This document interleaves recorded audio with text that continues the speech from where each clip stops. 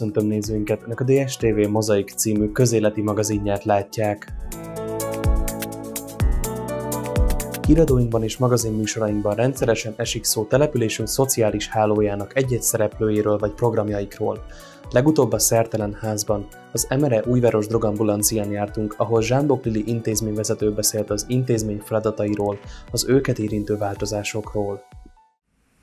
A Dunaújvárosi Szociális Háló szerteágazó szolgáltatásokkal segíti a rászorulókat, betegeket, bajba jutottakat. Az intézmények sorának egyik fontos szereplője az Emere Újváros Drogambulancia.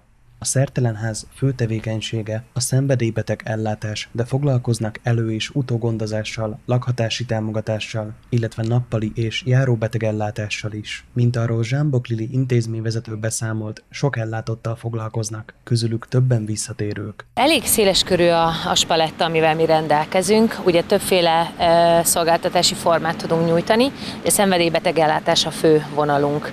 Előgondozással, utógondozással, támogatott lakhatással rendelkezünk, de nappali és járóbetegellátásunk is van itt az ambulancián.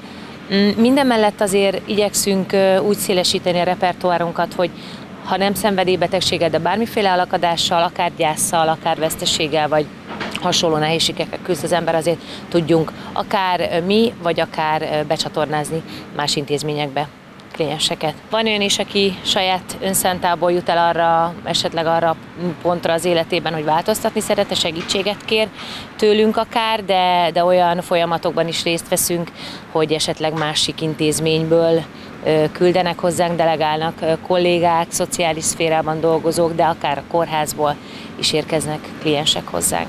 Nehéz lenne ezt is számokba ö, megadni, hiszen vannak olyan folyamatok, amik egy-két alkalomról szólnak, vannak több éves olyan klienseink, akik vissza-visszatérnek, vagy akár már egy felépülési folyamat előtt megjelentek nálunk, itt határozták el, mi tudtuk rehabilitációs intézménybe küldeni őket, segítséget nyújtani, és aztán vissza is térnek. Nehéz ezt így számokban kifejezni, de úgy gondolom, hogy mint ahogy más városokban is, más településeken is van erre nagy segítség, erre szükség.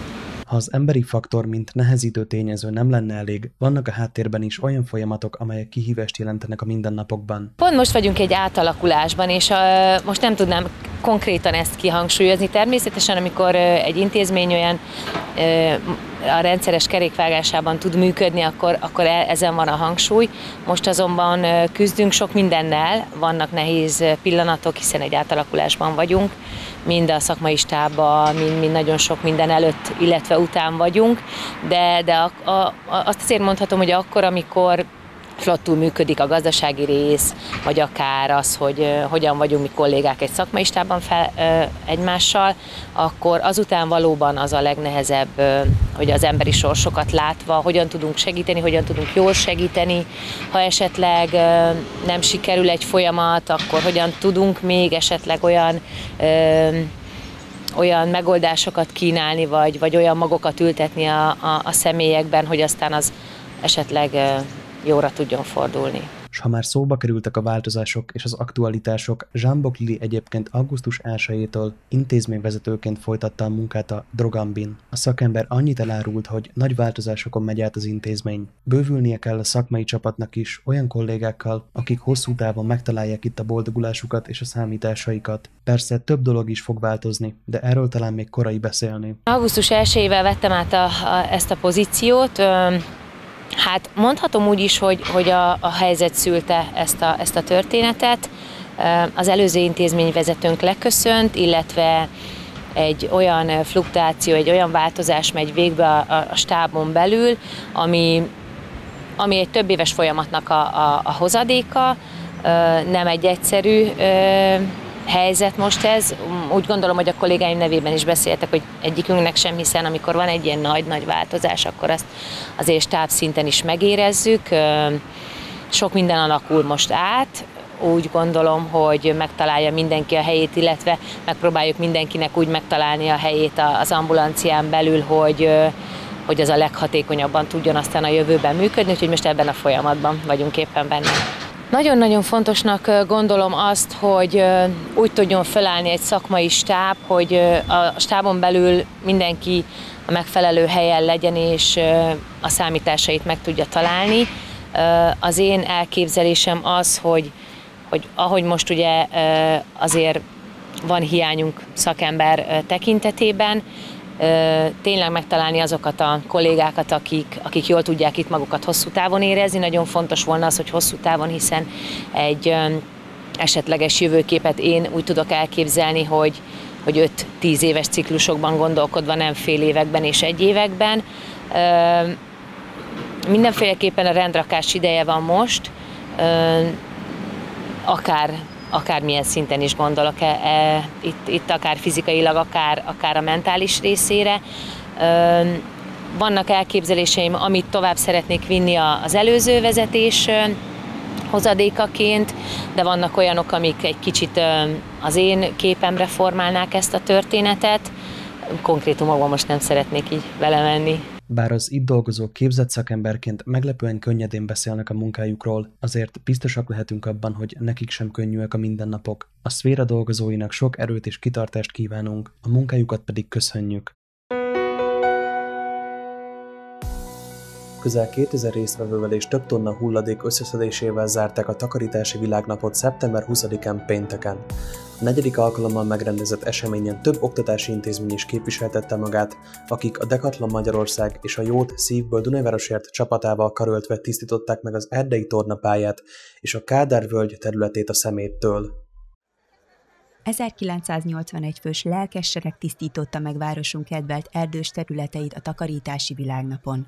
Az akciót a Decathlon Magyarország és a Jót szívből Dunajvárosért szoros együttműködése hozta ismét létre. A sportáruház igazgatója elmondta, hogy a cég számára mindig is nagyon fontos volt a fenntarthatóság és a környezetvédelem. Az a gondolatunk, hogy egy szebb jövőt akarunk létrehozni, és egy élhető bolygót fenntartani a jövőnek és ezt a fenntarthatósággal tudjuk elkezdeni. Ennek pedig alapillére az, hogy az ilyen szemétszedéseket, meg a hasonló eseményeket teljes melbedobással tudjuk mi támogatni. A tenni akarás mellett az összefogás ereje is élteti az eseményt. Sorra szálltak be a partnerek, hogy közösen hívják fel a figyelmet városunk közterületeinek tisztaságára. Egyre nagyobb eredményekkel, egyre több résztvevővel tisztították meg a sportolásra alkalmas erdős területet, ami olyan jól sikerült, hogy újabb helyszínen, a Kádár völgyben is takarítottak. Az erdei tornapályán harmadik éve rendezzük a rendezvényt. Most már mondhatni, hogy egy rutinos szoros együttműködésben a jó szívből Dunaújvárosért, a DLS csapatával, a Dunaújváros önkormányzatával és a Dunanet Nonprofit Kft-vel, úgyhogy így karöltve tudjuk ilyen monumentálisra fejleszteni ezt a megmozdulást. A megmozdulás eszenciája a közösségben és az oktatási szándékban rejlik. A példamutatás ereje már most megmutatkozik, emellett ez egy nagyszerű lehetőség arra is, hogy a szabadban töltsék az időt együtt. Több hatása is van, ugye ez a közösség ereje, látjuk, hogy itt most már lassan ezer diák is itt van, és pont ez volt a cél, hogy kijöjjenek a, a, tanteremből, és egy kicsit együtt legyenek, természetben mozogjanak is, és egy jótékonysági akción vegyenek részt, és lássák ő maguk, hogy milyen szemetes az erdőnk, és miért nem szabad szemetelni, és én azt gondolom, hogy amikor felnőtté válnak ezek a gyerekek, akkor nem fogják eldobni az erdőben, és sehol máshol a hulladékot. Pintér Tamás polgármester bizakodva tekint a rendezvény jövőjére, ahogyan a többi szervező is. Nagyon hálás minden résztvevőnek és szervezőnek, akik lehetővé tették, hogy idén is ilyen szép számmal kerülhessen megrendezésre ez a neves kezdeményezés. Ez több oldalról nagyon fontos. Én nagyon szépen köszönöm a Decathlonnak, illetve Petres Gábornak és az általa vezetett csapatnak ezt az egész rendezvényt. Nagyon örülök neki, hogy az idén is megrendezésre került. Természetesen mi is a Rajtóiváros Egyesület tagjaival eljöttünk és segítünk itt rendbe tenni ezt a kis területet. Bízunk benne, hogy most sokan vagyunk, de jövőre talán még többen lesznek. A 2024-es takarítási világnap rendezvénye az elmúlt évek eredményeit is jócskán felülmúlta. A tornapálya és környéke, illetve a Kádár völgy méltó módon hulladékmentessé vált. A természet ismét teljes pompájában tündökölhet, hála az elhivatott szervezőknek és minden környezetért tenni akaró résztvevőnek. Reméljük, hogy a jövőben a népessereg egyre kevesebb kevesebb szemetet fog összeszedni városunk erdős területeiről. A 2019-2024-es önkormányzati ciklus utolsó közgyűlését tartották múlt hét csütörtökön a Városházán. Legközelebb már októberben ül össze a közgyűlés, de akkor már az új összetételben, ahogy ezt a Dunavárosiak eldöntötték június 9-én. A ciklus utolsó ülésére maradt bőven eldönteni való, hiszen a nyílt ülésen 33 téma, míg a zárt ülésen két kérdésben kellett állást foglalni a képviselőknek, de a döntések előtt többen is szót kértek. Dr. Székely Károly kezdte a sort, aki képviselői ciklusa utolsó ülését kezdte, és elkívánt köszönni a testülettől, nyilvánosan a választóitól, Köszönetet mondott, hogy öt éven keresztül politikusként is szolgálhatta városát, a nyolcas körzet lakóit. Azt mondta büszke arra, hogy sikerült bebizonyítani, lehetséges egy valódi, emberközeli politikát megvalósítani, még ebben a közegben is. Lőrinci Konrád is befejezte képviselői pályafutását, amit 17 évvel ezelőtt kezdett el. Ő is köszönetet mondott választóinak, elmondása szerint megtisztelő volt ezt a munkát végezni. Pintér Tamás polgármester válaszul megköszönte az elköszönő képviselők munkáját. Dr. Székely Károlynak felajánlotta a számára mindig nyitott polgármesteri iroda ajtaját. Pintér Tamás a közgyűlés végén névre szólóan gravírozott, város címerrel díszített plaketteket adott a képviselőknek, amelyen kifejezte köszönet nyilvánítását is. Én azt gondolom, hogy egy ilyen méltó képpen egy kis emléktárgyal, egy kis éremmel igyekeztünk kedveskedni számukra, ami talán emlékezteti őket arra, hogy, hogy a közszolgálatában lenni egy rendkívül megtisztelő és felemelő feladat, és hogyha a jövőben is arra gondolnának, hogy mi is volt ennek az elmúlt pár évnek az értelme, akkor arra a következtetésre tudjanak jutni, hogy az emberek szolgálata az egyik legmagasztosabb és legnagyobb feladat, amit egy ember az életében tehet, és hálásak lehetnek ők is azért, hogy ezt a feladatot ők is végig tudták csinálni, és meg tudták valósítani az elképzeléseiket. Én azt gondolom, hogy nem csak a városvezetésnek, hanem az egész városnak, az egész országnak, de az egész világnak nehéz időket kellett átélnie és talán úgy tudom a legjobban megfogalmazni a, a gondolataimat, hogyha arra a kérdésre is válaszolok, amit nemrégiben feltettek nekem. 19 előtt tudtam volna, hogy ilyen kihívásokkal kell szembenéznem majd ebben a ciklusban, akkor vállaltam-e volna azt, hogy polgármesterként irányítom ezt a várost, a testületet, a frakciónkat, és tudtam-e volna ilyen lelkesedéssel beleugrani akkor a feladatokba.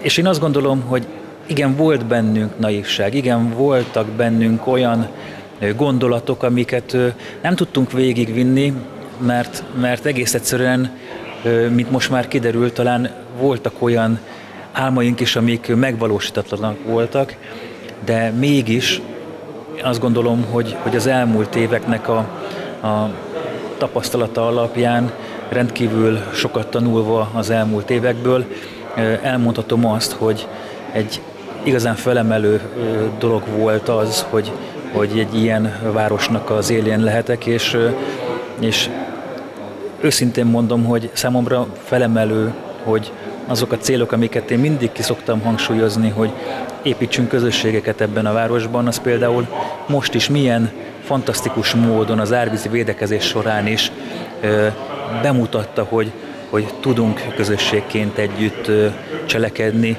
a nehéz helyzeteket túl tudjuk vészelni, és jöhet nekünk Covid, gazdasági válság, energiaválság, olyan elvonások, amelyre sosem gondoltunk, akkor is összefogva közösen fantasztikus dolgokra vagyunk képesek, és minden nehézséget át tudunk vészelni. És én a következő években is arra számítok, hogy közösségünknek az ereje csodákra lesz képes a városunkba, és ezeket a csodákat pedig majd fejlesztések, rendezvények és minden jónak a megvalósításával meg fogjuk tudni ismételten valósítani.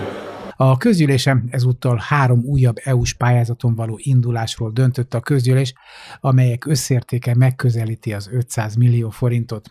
Az első kettő a klímaváltozásra való felkészüléshez és alkalmazkodáshoz nyújt segítséget külső árnyékoló rendszerek kiépítéséhez, lakóépületek közti zöld felületek rekonstrukciójához, vízvisszatartó megoldásokhoz ad támogatást.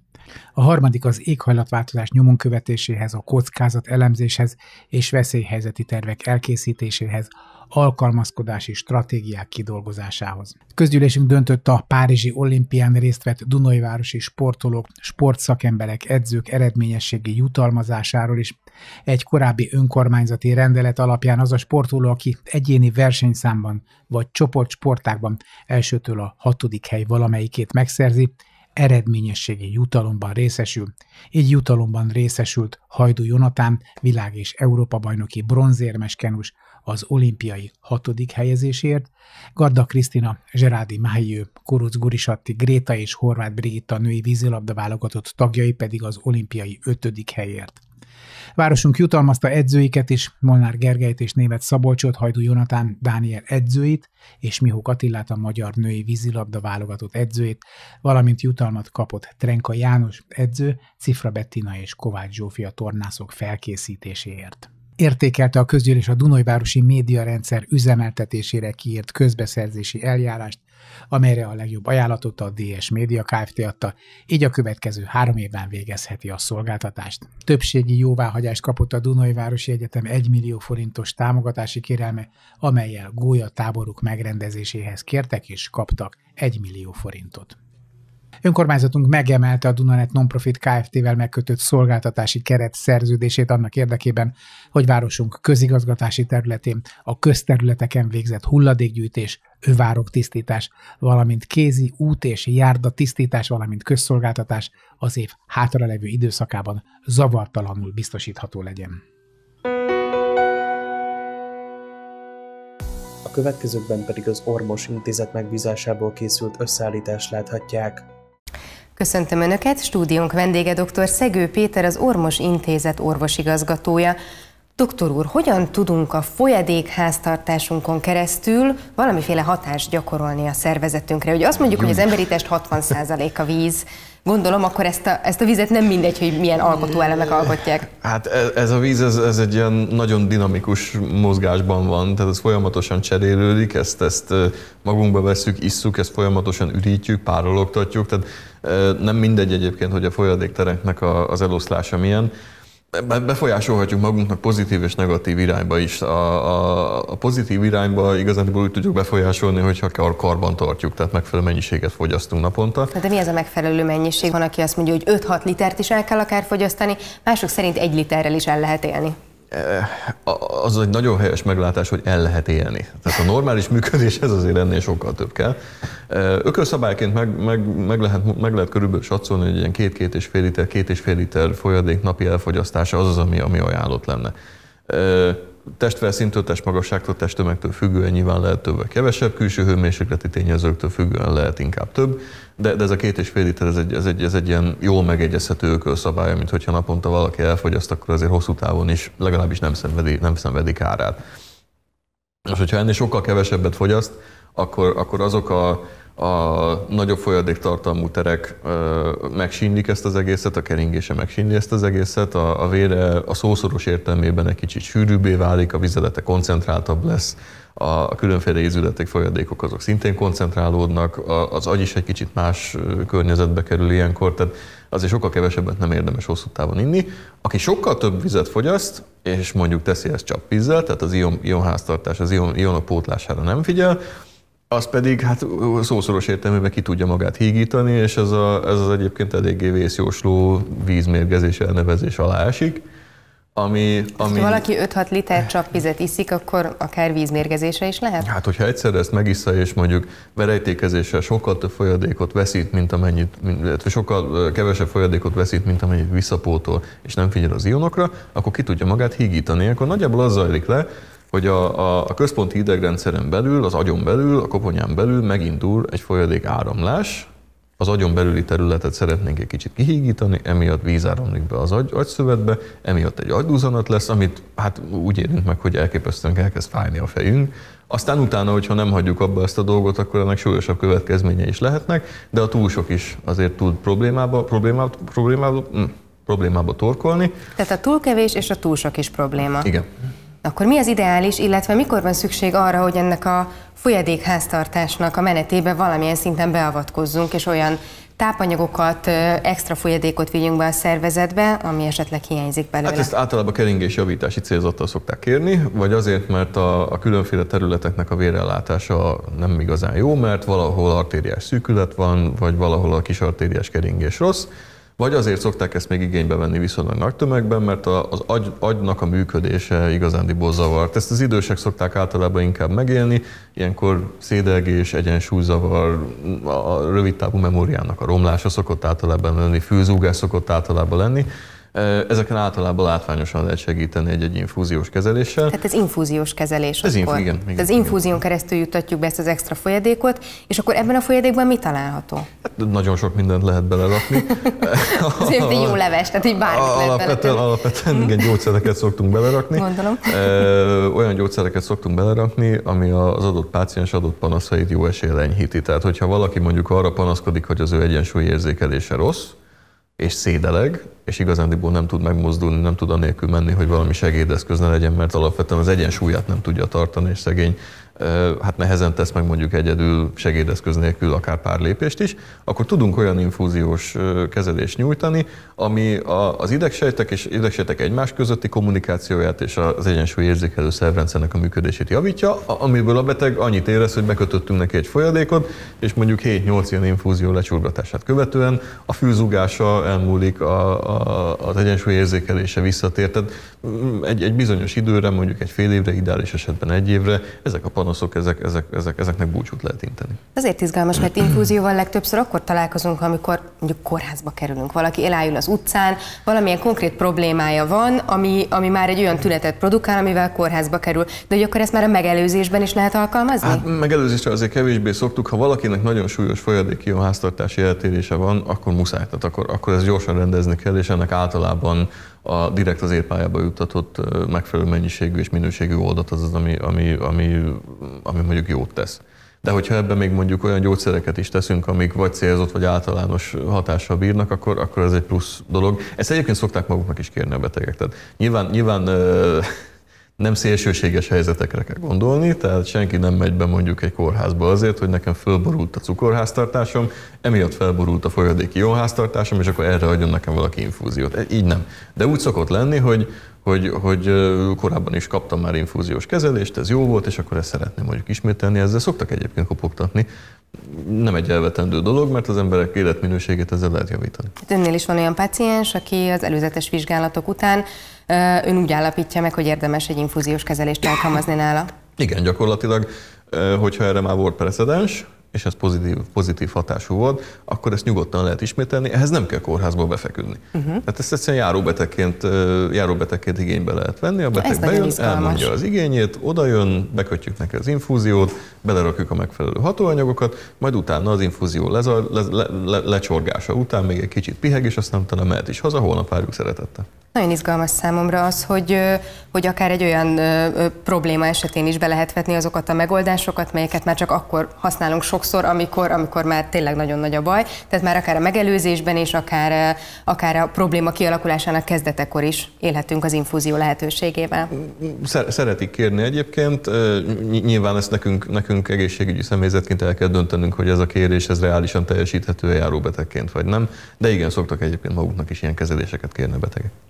Azt gondolom, hogy azt kell végig gondolnunk, hogy mik azok a lehetőségek, melyekkel úgy is élhetünk, hogyha éppen nem egy kórházba fekszünk be, és nem csak akkor, amikor, amikor már a probléma kialakult, mert előtte is van megoldás. Nagyon szépen köszönöm. Köszönöm szépen.